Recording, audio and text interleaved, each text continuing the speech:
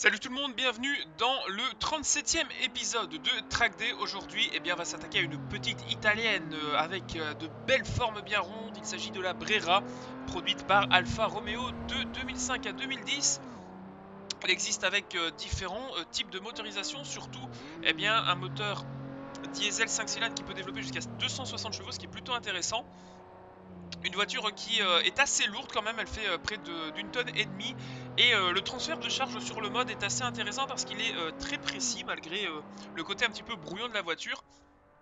Et cette petite Alpha, eh bien, fait tout à fait le travail. C'est vraiment une voiture de tourisme vraiment fun à piloter sur des petits circuits. Alors c'est vrai que si vous vous euh, attaquez à des grands tracés comme le Mugello par exemple ou Spa-Francorchamps, vous allez s'ennuyer, vous ennuyer à son volant, mais en tout cas sur euh, des petits circuits, elle est très fun à piloter.